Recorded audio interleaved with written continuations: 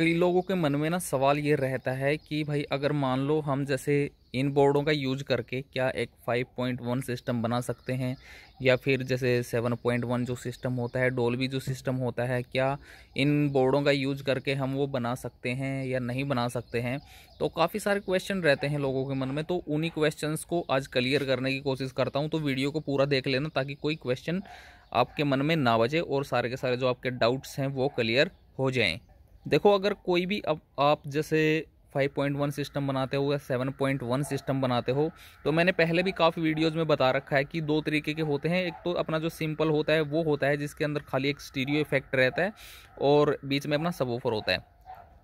लेकिन एक जो होता है जिसके अंदर जो थ्री साउंड होती है, वो होती है और उसका अलग ही साउंड की जो लेवल होता है, वो अलग टाइप का ही होता है। उसको सुनने में एक अलग तरीके की फील आती है। ठीक है? एक प्रोलॉजिक उसको बोल सकते हैं हम, ठीक है? तो उसके अंदर क्या होता है कि जो वो एम्पलीफायर बनता है, उसके लिए काफ़ी सारी चीज़ों की ज़रूरत पड़ती है। तो अगर आप कोई 5.1 सिस्टम बना रहे हो तो इसकी जो वायरिंग है, वो किस तरीके से करनी पड़ेगी क्या क्या इसमें ज़रूरत पड़ेगी, ठीक है? तो सबसे पहले तो क्या होता है कि 5.1 सिस्टम बनाने के लिए आपके पास जो पाँच चैनल हैं, वो सेम पावर के होने चाहिए। बाकी स्पीकर्स के हिसाब से होता है कि भाई आपके पास स्पीकर हैं जो ट्विटर हैं जो वो कितनी कितनी वोट के हैं।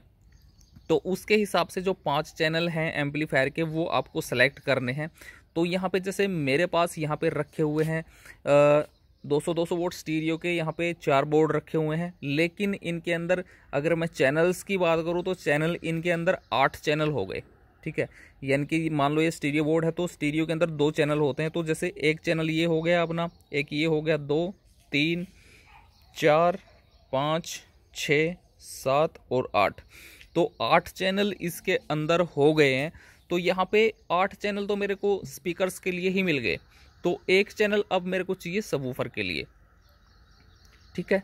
तो इसमें क्या होगा कि जैसे मेरे को 5.1 बनाना है तो इसके अंदर से मैं एक एक जो पार्ट है, या तो मैं एक एक जो अपना बोर्ड है, वो मोनो सेलेक्ट करूँगा कि भाई जैसे सौ सौ वोट के मैंने मतलब पाँच चैनल ले लिए, ठीक है? और एक चैनल उनके लिए फिर ले लिया, कोई 400-500 वोट का सबूफर के लिए, ठीक है? इस तरीके से हमें यूज़ करना होता है।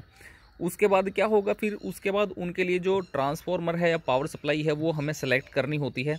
जैसे हर एक चैनल के लिए, जैसे मान लो कि मेरे पास पाँच बोर्ड रखे हुए हैं मोनो स्पीकर्स के लिए अलग अलग चैनल के लिए, पाँच चैनल के लिए वो रखे हुए हैं। तो उनके लिए, जैसे इसके अंदर मान लो पावर सप्लाई इसके अंदर इनबिल्ट है। तो क्या होगा कि हमें अलग से पावर सप्लाई लगाने की ज़रूरत इसके अंदर होगी नहीं? और जो ट्रांसफार्मर है ट्रांसफार्मर से हमें या तो अलग अलग वाइंडिंग निकलवानी पड़ेगी अलग अलग बोर्ड के लिए। अगर हम अलग अलग पावर सप्लाई यूज़ कर रहे हैं पाँच चैनल के अंदर तो उसके अंदर फिर क्या होगा? जो वाइंडिंग है, वो हमें अलग अलग निकलवानी पड़ेगी ट्रांसफॉर्मर से। जिससे कि ट्रांसफॉर्मर क्या होगा, काफ़ी भारी भड़कम हो जाएगा और अलग अलग सप्लाइयाँ निकलवा लेंगे तो उसमें काफ़ी अच्छा रहेगा। लेकिन अगर एक सिंगल सप्लाई निकलवाते हैं तो उसमें जैसे जो ग्राउंड लूप होता है, वो बनने के ज़्यादा चांसेस रहते हैं। तो इसलिए क्या होता है कि 5.1 अगर बना रहे हो तो अलग अलग चैनल के लिए अगर हम अलग अलग सप्लाई यूज़ करते हैं तो उसके अंदर फिर जो वायरिंग है, वो ज़्यादा हो जाती है।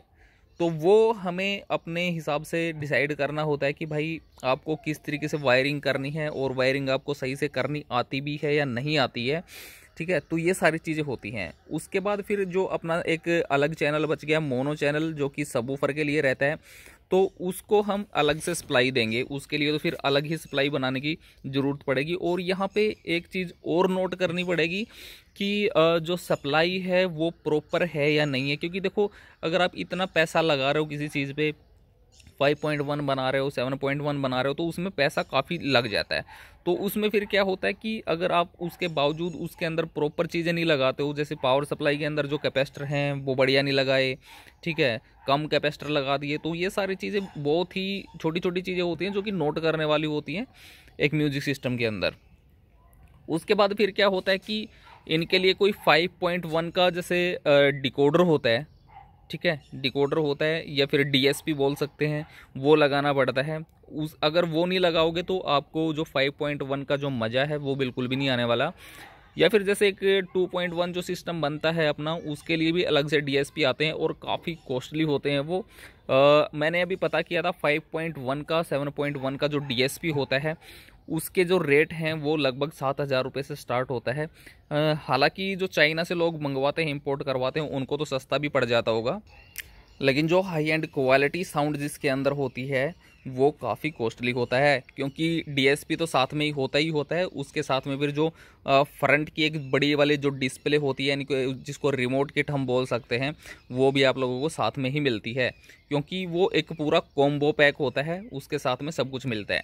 तो उसके बाद फिर बारी आती है उसके जो कनेक्शंस की हैं। अगर आप एक टेक्नीशियन हो, अच्छी नॉलेज रखते हो टेक्निकल बंदे हो तो आप लोगों को उनके जो कनेक्शन हैं, वो करने में ज़्यादा तकलीफ़ नहीं होगी। लेकिन अगर आपको नॉलेज ही नहीं है किसी चीज़ की तो आप उसके जो कनेक्शन हैं, वो इतनी आसानी से नहीं कर पाएँगे। आप एक जो आपने पैसे लगाए हैं, उसको आप बर्बाद कर लोगे। अब कई बंदे बोलते हैं कि, sir seven point one five point one या मतलब ये चीज़ें लेके आओ। तो अभी देखो आइडिया सा आप लोगों को लग गया होगा कि यहाँ पे कितने चैनल्स की ज़रूरत पड़ेगी एम्पलीफायर को बनाने में लिए, उनकी कॉस्टिंग उसके बाद फिर जो डीएसपी आएगा, मैंने बताया कि साढ़े सात सात हज़ार रुपये से स्टार्ट होता है तो उसकी कॉस्टिंग तो उसके बाद फिर जो ट्रांसफॉर्मर वगैरह रह गया, उसकी कॉस्टिंग फिर बनाने की मेहनत या फिर जो कैबिनेट वगैरह होती है उसके लिए वो बनवाना तो इसमें मतलब कितनी कॉस्ट आएगी? और उसके बाद फिर जैसे मान लो सेल करेंगे हम तो उसमें फिर लोगों का क्या रिएक्शन रहेगा? ये सारी चीज़ें सोचने वाली होती हैं। काफ़ी सारे बंदे कमेंट करते रहते हैं कि स्टीरियो मोनो ये तो मतलब कब का हो गया? बड़े प्रोजेक्ट पे काम करो 7.1 बनाओ 5.1 बनाओ।